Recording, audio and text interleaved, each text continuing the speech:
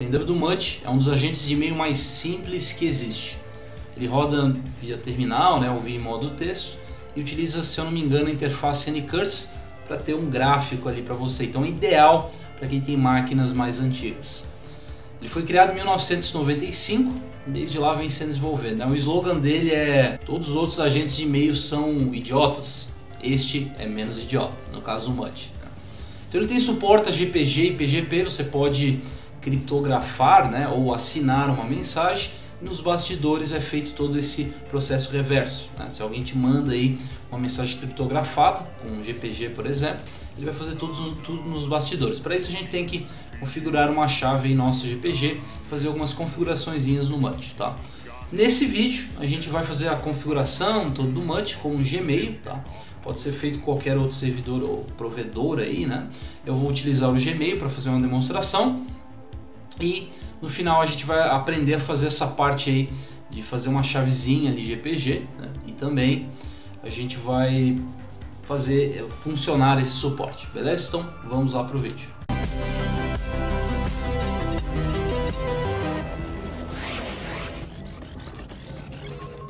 Precisa fazer algumas configurações no MUT, né? E eu tenho esse preset já pronto, tá? Então ele é bem simples de ser utilizado, qualquer pessoa consegue fazer e a gente vai seguir em cima desse preset que eu já tenho, tá? Então vai estar na descrição aí o link. A gente pode vir aqui no arquivo é, .mutrc-slackjeff, tá? E aqui ele tem as configurações dele que a gente vai ajeitar para o nosso uso no Gmail aqui, ok? Eu vou vir em RAW aqui, vou copiar esse arquivo, tá? É, deixa eu abrir um terminal aqui já. E no meu home mesmo vou dar um wget com o link, né? espaço traço O maiúsculo e vou botar ponto mutrc, tá? Ele vai baixar, beleza, baixou e salvou, tá? Agora eu posso fechar já aqui. Se eu dar um ls-a, o meu mutrc vai estar presente aqui, né? Então a gente vai começar em cima desse cara, a fazer a configuração dele para dar tudo certo, tá? Essa primeira parte, Set Editor, é o seu editor de preferência. Se você tem um Vi ou Vim aí, você pode botar qual será o editor da sua preferência. Aqui a assinatura da mensagem, né, do e-mail, tá? Normalmente a galera utiliza. Eu botei ponto .slackjeff, mas você pode botar tipo assinatura.sig aqui, né? É, para isso, cara, deixa eu fazer um negocinho rapidinho. A gente vai criar um diretório chamado .mut, tá? Beleza? Deixa eu entrar lá em mutrc de volta. E aqui a gente vai botar ponto, né? O home que ele está especificando que é o home do usuário. A gente pode passar o caminho completo aqui, né? Barra home, papapá. Ou somente assim que vai expandir vai virar meu home, tá? Já vai identificar isso aqui com o usuário logado, ok? Então eu vou botar aqui ponto much, que é o diretório que a gente criou, barra, né? Ponto assinatura ponto sig, tá? A gente vai criar uma assinatura aqui dentro. nano.much barra assinatura.sig, tá?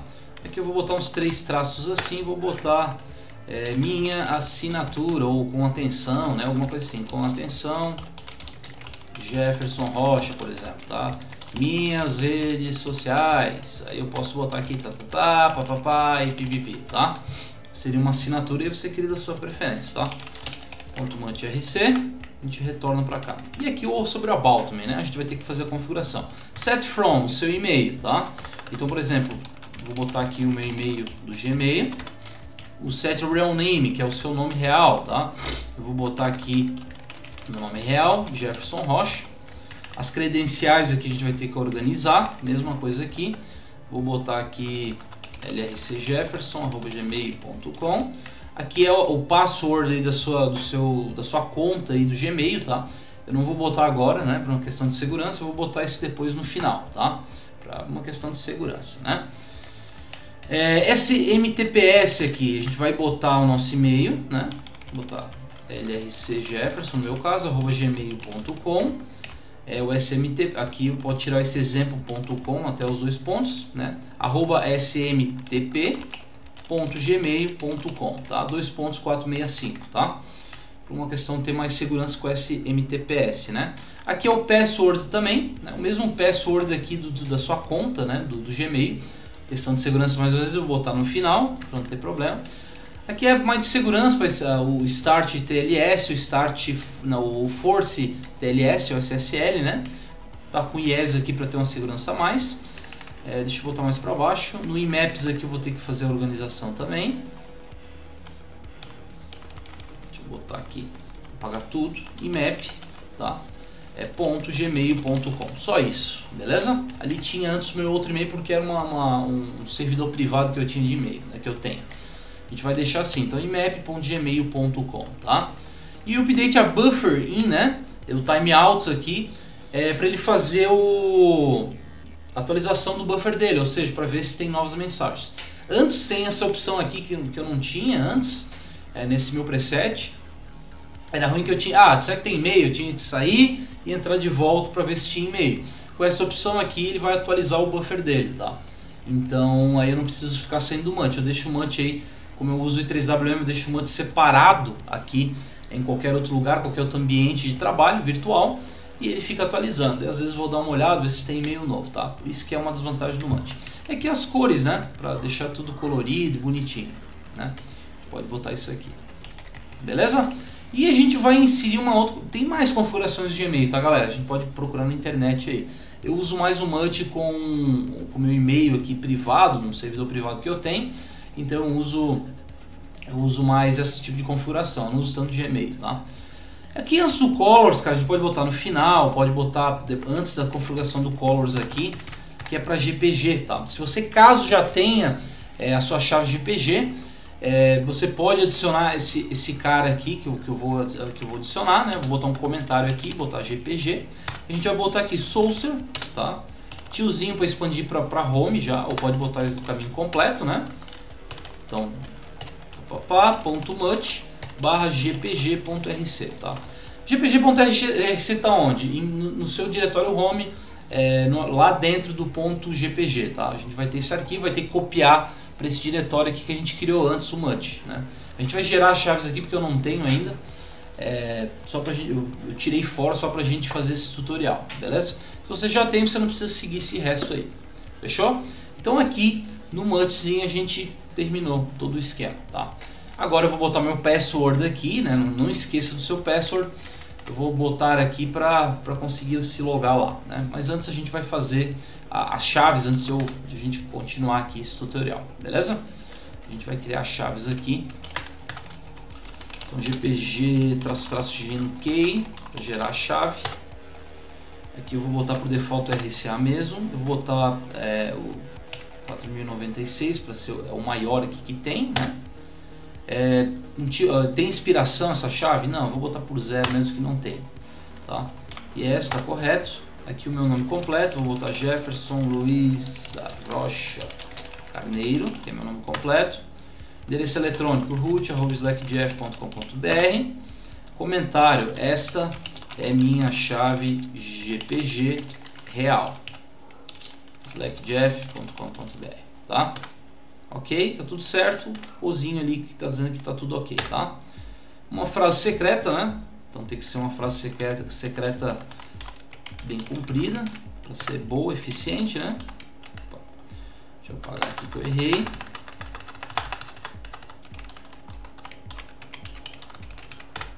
Ok, agora ele vai gerar ali. Gente, é bom a gente pegar e ficar, ficar mexendo, né, para gerar entropia suficiente, tá? Então eu vou dar uma pausa aqui enquanto porque demora esse dá um dá um time mesmo, né? Então eu vou dar uma pausa aqui. Ah, uma sugestão aqui para vocês, tá? Para gerar uma entropia maior. Dá um cat lá em barra dev o handle, tá? Abre bastante terminal aqui, ó. Para ter uma entropia maior, tá? Isso é bom. Então, mexer no mouse e papapá, tá? Cá assim. Vou botar para cá para ter uma entropia boa, né? Aí já começa a gerar a entropia ali, tá? Deixei assim para só para ficar melhor. Mexa no mouse e faça o caralho todo aí. Beleza, gerou a chave aqui bonitinho, tá? Com meu nome, tudo certinho. Depois de ter feito toda a entropia, né? Deixa eu só cancelar aqui pra não ter mais problema, né? Bom, próximo passo aqui, deixa eu pegar essa, esse, esse, esse cara aqui, se caso precisar. A gente vai é, exportar a nossa chave pública, tá? Isso é necessário, ok? Vamos lá.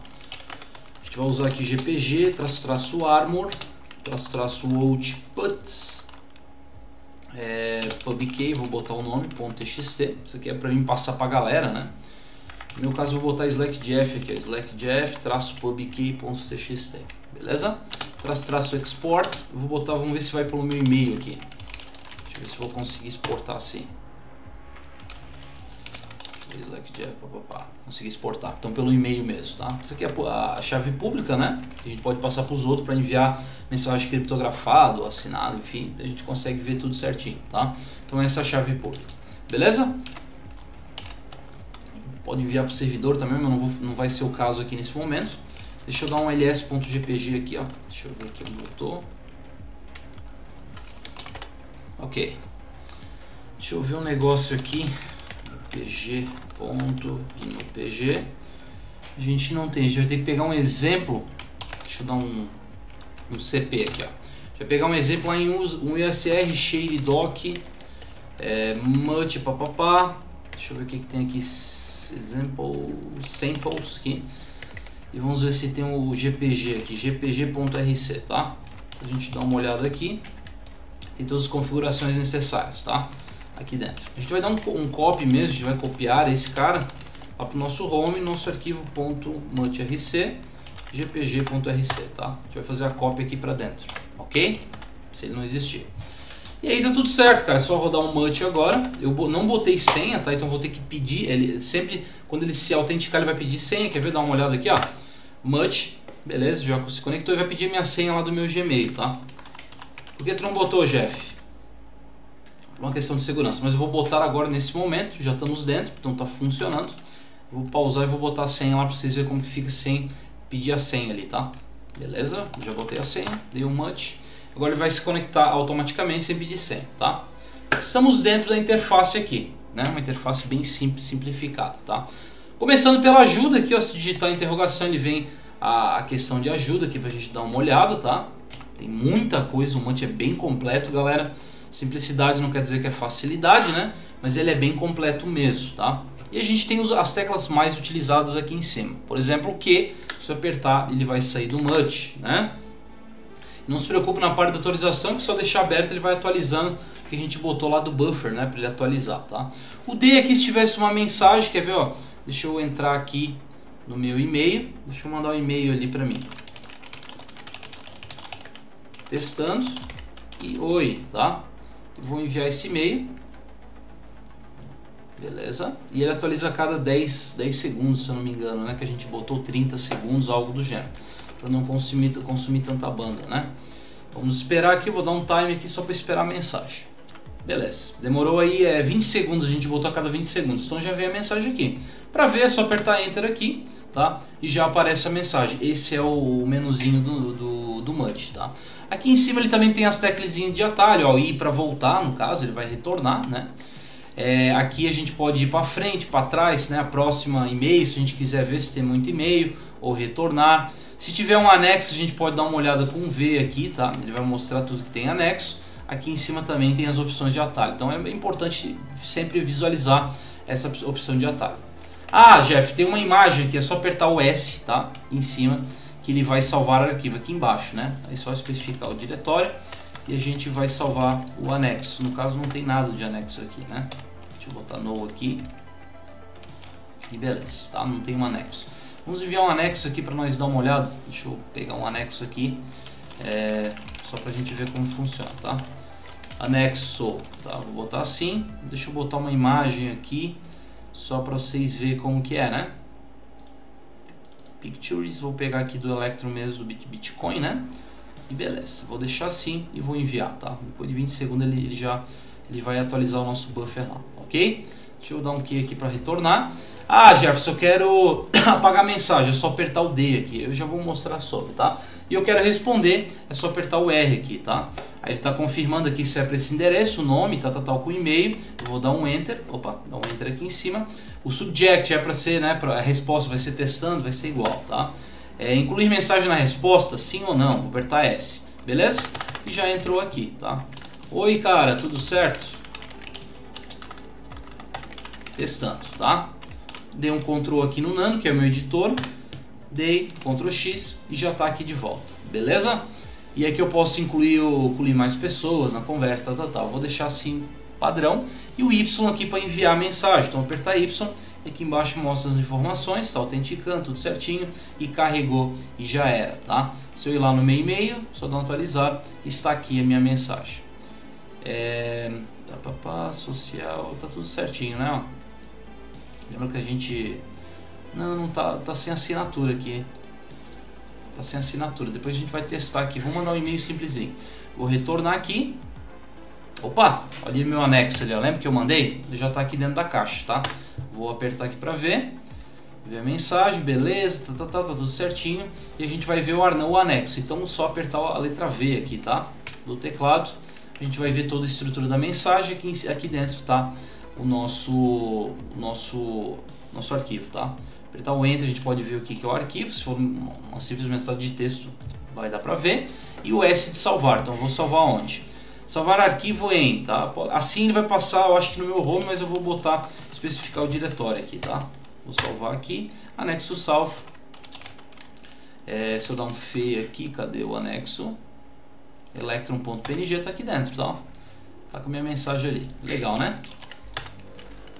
Ok, retornando. Vou dar um Q para sair para retornar a mensagem e para retornar. Ah, Jeff, eu quero simplesmente apagar. É só apertar o D, tá?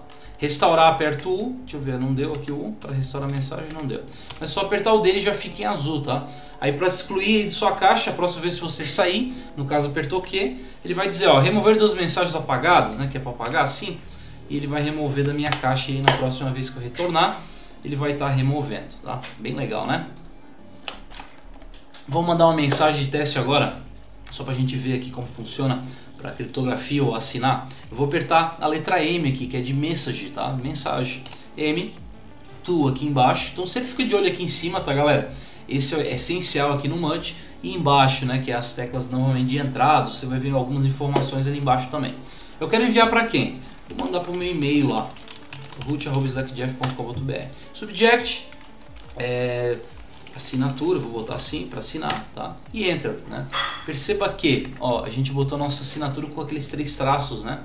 Então vai ficar dessa forma, tá? Já por padrão. Desse aí depois a gente vai alterar. Ok, vou mandar mensagem. Oi, cara. Testando é, criptografia, vou botar. Cripto, criptografia, tá? Ctrl aqui, porque eu tô no nano, sair e ok.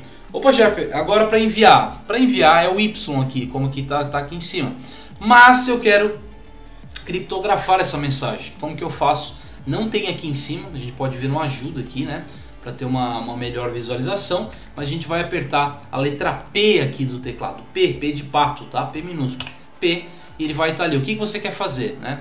Cripta, criptografar a mensagem, assinar e tal, tal, tal, tá? Eu vou criptografar, então vou apertar a letra E aqui do teclado, aqui embaixo, E, e ele já vai criptografar para mim. E já está tudo a chave, tudo certinho, tá? E agora é só apertar Y e olha lá, já vai enviar a mensagem para mim, criptografadinha, tá?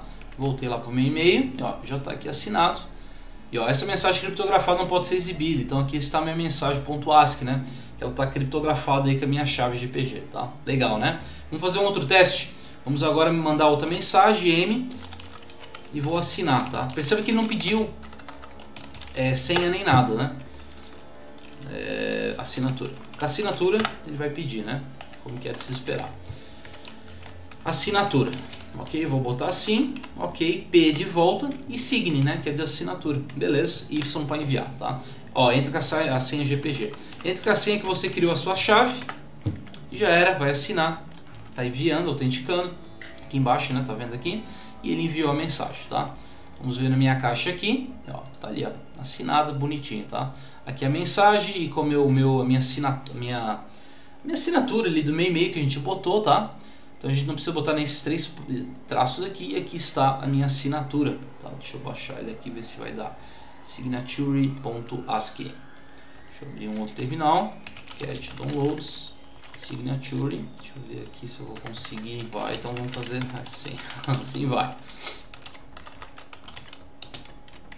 Aí, agora sim. E também a chave pública, tá? Então, aliás, assinatura, né, que a gente assinou. Beleza? Então deu tudo certinho, cara, né? É bem simples de usar o MUT, é só dar uma olhada na ajuda. Não tem muito mistério aqui no MUT, tá? A parte mais complicada, a galera tinha assim, ah, não sabia como fazer, era a parte de assinar ali ou criptografar a mensagem. Então, por padrão, quando vê uma mensagem criptografada, o servidor faz tudo aqui, tá? O servidor não, o MUT faz tudo por trás dos panos, você consegue ver tudo certinho, ok? É, se não tiver aí na, na sua, no seu chaveiro, né? Por exemplo, da assinatura do pessoa, aí você tem que fazer na mão ali, né? Mas normalmente é para fazer tudo atrás dos panos, tá? Então, bem, bem interessante usar o MUT. O MUT não tem mistério, não tem segredo, qualquer coisa ajudinha aqui no manual ou no embutido dele aqui, tá? Você tem tudo, consegue ver aqui, é só usar o PageDAO para baixar e vendo tudo certinho. Então, vamos arrumar a assinatura antes disso, então vou sair daqui, nano.mut, é, assinatura, né? Ponto assinatura aqui, ó. Deixa eu só tirar esses três traços aqui já era, tá? Só usar assinaturinha, bem bacana, tá? Então é isso, galera. Esse é o vídeo de hoje, um, um vídeo mais simples. A gente pode fazer um outro vídeo, talvez explicando mais a fundo sobre o MUT, sobre o GPG também eu quero explicar um pouco melhor em outro vídeo. Não esqueça dos meus cursos, slackjeff.com.br, pacotão lá por 20 reais, tá bem barato, tá? Curso Shell Script, Slack e outras coisas. E assine o canal para receber novos, novos conteúdos e também veja o último vídeo aqui, aqui, né? Que tá bem legal. Abraço a todo mundo, paz e fui.